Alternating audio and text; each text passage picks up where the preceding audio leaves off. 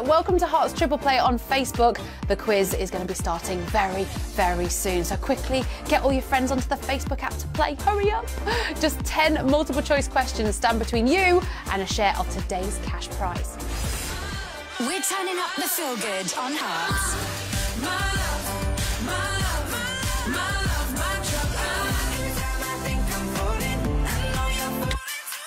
Sam, you just won £30,000! Across the UK, turn up the feel good. This is Heart.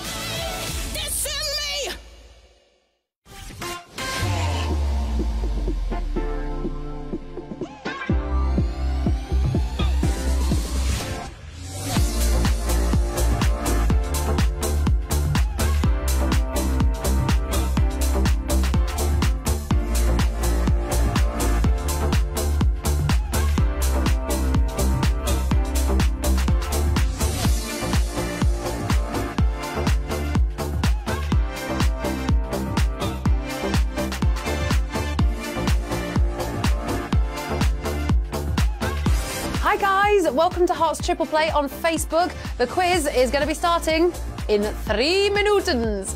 So get all your friends on the Facebook app to play. Just 10 multiple choice questions stand between you and a share of today's cash prize. We're turning up the feel good on Hearts.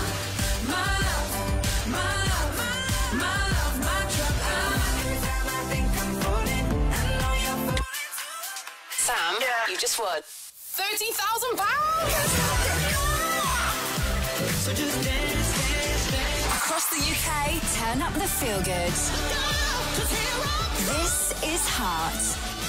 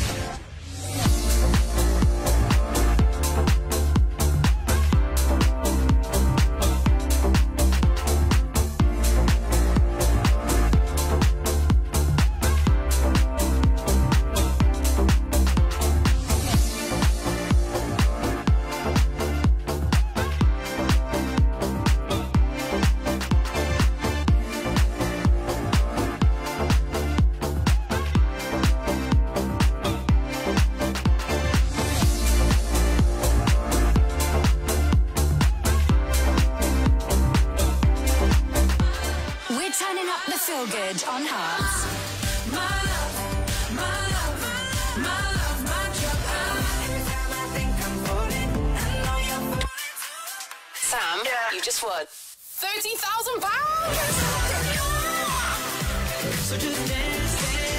Across the UK, turn up the feel good. This is Heart.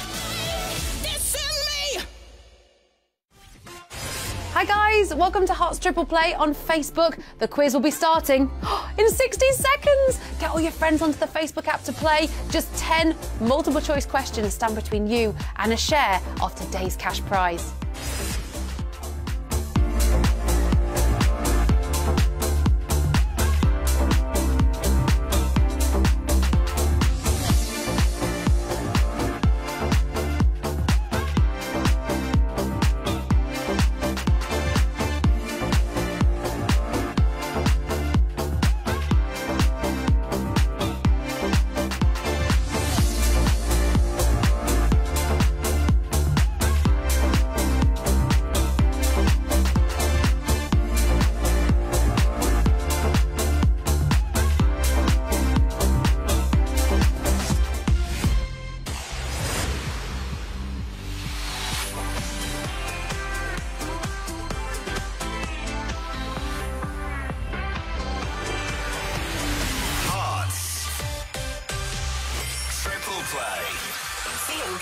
Friday. Hello, it's Sian Welby here. It's the 15th of February and it's Feel Good Friday. Welcome back to Hearts Triple Play live on Facebook. Now, if you didn't win today with Hearts 30k Triple Play on the radio, don't worry. This is the game that's going to give you another chance to get your hands on some cash. Just 10 multiple choice questions stand between you and a share of today's cash prize pot. Which is a whopping £1,000. Very exciting. Now, if you get a question wrong, you can't win today's cash, but you won't be locked out of the game. And you can still play along, help your mates out, because they can see your answers. So keep on playing and try and steer your mates to victory, because you never know, could be a cheeky Friday drink in it for you if they win big later. So today, your triple play questions are on Who Said That, Children Books and Royals. If there's a member of the royal family working in your office, they could be. Just go over, curtsy by them, offer them a scone and a cuppa, always works a treat. Or just make sure you're Facebook friends and then you can see their answers. Now, for the best playing experience, you know what to do. Plug yourself in, get yourself on the Wi-Fi and have the latest Facebook app installed. If you want to read them, all the T's and C's for the quiz can be found on the Heart website. Now, remember, as soon as you see that question pop up on your screen, you'll only have 10 seconds to click on the answer and there'll be triple options to pick from. 10 questions, 10 seconds, triple options. Right, is everybody here? Everybody excited? Are you going to make it all the way to the end? Are you going to be bunking off work for the next half an hour? Yes, come on, let's do it. It is now time for Hearts Triple Play. Hearts. Triple play. Okay, we're going to kick things off in a flash with a famous line from a famous film. For question one, I'd like to know in the 1980 fantasy film Flash Gordon, which actor famously yells the words, Gordon's alive? Brian Harvey, Brian Balow, Brian Blessed. Oh, absolute cult film this with the greatest soundtrack by the rock gods Queen. Do you remember the actor that was in it though? Uh, I'll give you a clue. He has the deepest voice I think I've ever heard and the most glorious beard in all the land. Uh, he's also been in loads of other things, Blackadder, Star Wars, and who could forget his starring role in the groundbreaking Peppa Pig. You've got it right. The answer was Brian Blessed. Oh, and there he is, his gorgeous little beard there. And actually, he's holding a sat nav. Did you know this? You can get a Brian Blessed voice on your sat nav, which I just think would make any journey just so much more pleasurable. Uh, so, yes, actor, Everest explorer. There is no end to Brian's talents. Uh, actually, he's met quite a few historical figures in this time. And, right, this is brilliant, okay? At one point, he went to meet the Queen. She was more excited to see him. And she actually, when she met him, like within the first few seconds, she said, Can you say your catchphrase, Gordon's alive? Just for her. Incredible. The Queen's rendition. Gordon's alive. Okay, we're going to crack on to question two. Now, all good uh, game shows need a memorable catchphrase. Here we go. It's good, but it's not right. There's the catchphrase of which TV host? Roy Walker, Roy Hodgson, Roy of the Rovers.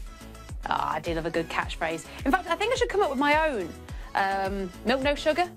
Nah, I think not, not quite right, is it? How about uh, four Bakewell tart stat, hold the custard?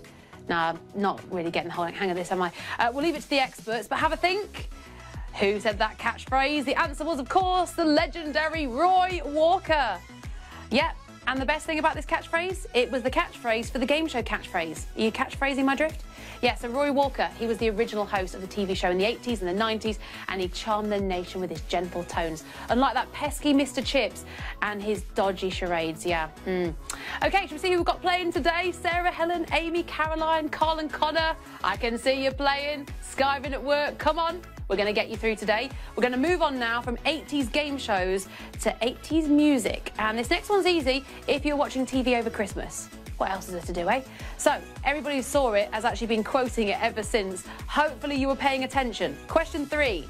In the 2018 Bros documentary, who said, once bitten, twice shy? 20 times bitten, a little shy? Matt Goss, Luke Goss, David Brent. Later this year, Bros are going to be performing live again in London, so who knows? Maybe we'll get some more fantastic words of wisdom from them. But who said that line in the documentary? And what exactly did bite him 20 times? So many questions, so little time. But back to the answer, and the answer is. Which brother did he go for? It was Luke Goss. Yeah, there's the lads there. Oh, living the dream back then. Yeah, that documentary, it was just so brilliant, wasn't it? If you haven't seen it, you need to watch it. It was full of amazing quotes by the twin superstars, Matt and Luke Goss, who are pretty much like a thinking man's Jedward. That's how I like to imagine them. Uh, my favourite quotes, I think, have to be the letters H-O-M-E are so important because they personify the word home. And Rome wasn't built in a day, but we don't have the time Rome had. I'm going to use that one myself, I think. Uh, so there we go. Well done if you got it right. Melissa, Isaac, Sheridan, Louise, you are still in the game. We're going to crack on now. Well done. Seven questions to get through and to get your hands on a share of that glorious £1,000 prize.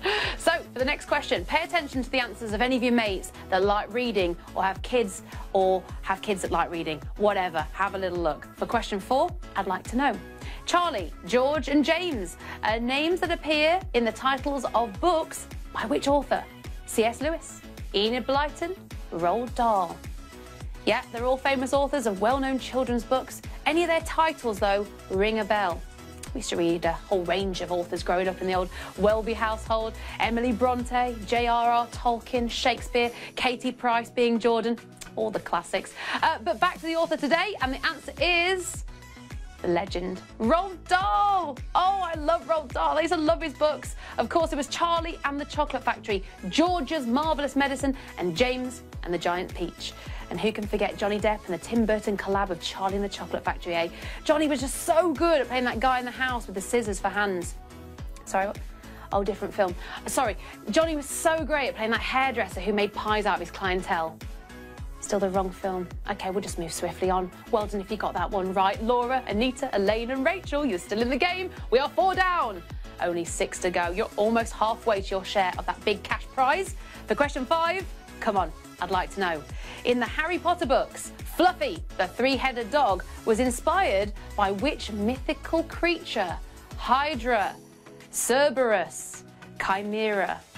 Yeah, there are all sorts of fantastic beasts in the Harry Potter world, often based on ancient mythology. But which of these mythical beasts do you remember being in the film and being called Fluffy? Quite a key role in the film. Guarding the uh, Philosopher's Stone was our Fluffy. And before you ask, no, it wasn't Robbie Coltrane, although that was one hell of a beard. So the answer was Cerberus. Oh, yeah, some Harry Potter fans clearly in the house today. Fluffy is inspired by Cerberus, which is a three headed dog beast in Greek mythology. I do actually love it when a scary looking animal is given a sweet name. For example, like, would an eight foot tarantula scare you if it was called Trudy? Or how about Arabella the anaconda? Not as scary, is it? Yeah, J.K. Rowling uh, confirmed Fluffy's fate back in 2015 on Twitter by saying that he'd been safely returned to his home country of Greece. Save us some tzatziki, Fluffy mate. Doubt he will, though, with the whole having three heads thing. So, very good. Gail, Reese, Leanne and Michael, doing very well. We're going to move on. The next author's work has inspired a whole host of massive Disney movies. For question six, can you tell me? After outstaying his welcome as a house guest, Hans Christian Andersen fell out with which author? Thomas Hardy, Lewis Carroll, Charles Dickens. Oh, Hans Christian Andersen wrote very famous stories The Emperor's New Clothes, The Little Mermaid, The Ugly Duckling, but Poor Hans, he ended up becoming the ugly house guest after his short stay at one of these authors' houses became a very long one and he horribly outstayed his welcome. Don't you hate it when people do that? So awkward. Uh, but which of these English authors' homes did he stay at and then fall out with? Get those answers in. In fact, if you've answered already, just send us some mermaid and duckling emojis while we're waiting in honour of Hans. OK, the time is up and the answer is Charles Dickens. Yeah, Great Expectations author Charles Dickens and his family described him as a bony bore who stayed on and on and on. He's still loved, though, back in his native land. And if you go to Copenhagen, there is a very famous statue of the Little Mermaid in his uh, in the harbour. I actually love the Disney version of that story. And word on the grapevine is there's going to be a live action of the Little Mermaid made very soon. Who's going to play Ariel, though? It's got to be someone with red hair, hasn't it? Ed Sheeran, Mick Hucknall. Hmm. Yeah, they're going to struggle, aren't they? And talking of struggle, it was a heartbreaker! Oh no! Yeah, we lost over 500 I'd be on that one, but if you can still stay in the game, you can help everyone else out. So let's do it for the team. It's Feel Good Friday. We're all working together. So well done if you're still in. Okay, now just four more questions. Stand between you and the glorious prize. So we're going to change the subject a little bit now. We're going to move from children's books to the royal family. Coming up for question seven. Former royal butler Paul Burrell was a judge on which of these reality shows? Irish Princess, Australian Princess, English Princess. Yeah, you might remember him appearing on I'm a Celebrity a few years ago. You know, the guy put his hand in the wall and cried like a small child. I'll do an impression if you like. Oh, Oh, it's it's rats. It's rats. It's rats. Why? Why? Yeah, remember him? I hope that helped jog the old memory. The answer, in a totally different programme, uh, the Australian princess was the answer. Yeah, Paul Burrell, bless him, butler to the legendary Lady Di and her children, obviously Prince William and Prince Harry, who I like to think could be playing the quiz right now. I have seen a few Harrys and Wills pop up. You never know. A very good afternoon, Wills and Hazza, in case you are playing. Yeah, so this reality show, Australian Princess, um, it was about 12 ill-mannered Australian women who were taken to London to master the finer arts of British society and to be crowned Australian Princess. Only the best got through, and I think the worst ended up as my old flatmate. Can't be confirmed. So, for question eight. I would like to know which of these kings was Queen Elizabeth II's great grandfather, Edward VII, Edward VIII, George V. Now remember, you can see other people's answers, so one of your Facebook friends who's playing is quite good with their royal history and all that, keeps all those uh, glossy royal family mags in the newspapers, just have a little peek at what they're writing. It's not cheating, it's third-party research. So, the answer to question eight is Edward VII. Well done if you got it right. Yeah, George VI was our Queen's dad, and George V was his father, making him the Queen's grandfather. Then his father was Edward VII, who was the Queen's great grandfather, and the Queen, by the way, uh, is Elizabeth II. Everyone keeping up? Why do the royals keep recycling the names? Come on, guys, mix it up a bit. It's getting confusing. Suzanne, Toria, Melissa, and Sally you are still in the game. Now, as we move on, the Queen, she's got four children, all of whom have been very busy having kids of their own. So for question nine, as we get very close to this prize now, which is the second oldest of the Queen's grandchildren? Second oldest. Zara Tindall, Prince William, Peter Phillips. Yep, Queen Elizabeth. She's got eight grandkids, but also seven great grandkids. So buying Christmas presents, it must be an absolute nice nightmare, mustn't it? I reckon she just should do like a Secret Santa with a five quid budget or get a loyalty card at Poundland. That'll save the pennies. Genius idea, that. Um, but we do need to find out who is the second oldest out of the Queen's many, many, many, many, many, many grandkids. I hope you got it right. The answer is Zara Tindall. And there she is living the best life ever on that horse there. Hi, Zara. Yeah, so Zara, second eldest uh, grandchild of the Queen. She's younger sister to Peter, who is the oldest grandchild, and they're both the children of Princess Anne. Zara is 17th in line to the throne, Peter's 14th in line. Prince George, who is Prince William's oldest son, is third in line to the throne, making him the highest achieving five year old in the world. And who can forget our old mate Danny Dyer, who is 110,000th in line to the throne? Could happen. Okay, well, if you're still in, congratulations. It's actually quite tight. There's only 16 of you in the running now, and you're just one correct answer away from being top dog and having a share of that glorious £1,000 prize pot. Have a think what you do with that money because it's time for a final question. Final question. Okay, here we go. Now, as we all know, the Queen appears on the back of all of our coins. On this day in 1971, the UK changed its old currency of farthings, pennies and shillings to our current decimal system of 100 pennies to the pound. Now, because we're Hearts Triple Play, I want to know, for question 10, how many shillings were there in three pounds? 36, 60, 72. Oh, it all gets so confusing with old money. It starts to sound like a scene from Oliver Twist, doesn't it? Now, you might not remember shillings yourself. Hopefully you've got parent or grandparent or mate old enough to remember. Just quickly see if they're free to give you a helping hand. Just tell them just for a split second, stop making that cup of tea. I need your help for the last question of the week. Okay, I'm getting overexcited now. Here we go. For your share of a thousand pounds, I'm wishing you all the luck in the world. The answer was 60. So there were 20 shillings per pound, so 60 in three. The shilling was divided into 12 pennies. The penny was further split into two half pennies or four farthings. It's very confusing. So good we've moved on to decimals now. It's going to be a lot easier sharing that prize money today, isn't it? Okay, so this is the exciting part now. The good news is there's going to be more than just a few pennies coming your way if you got that question right. Did you make it? Did you win? Come on, let's find out.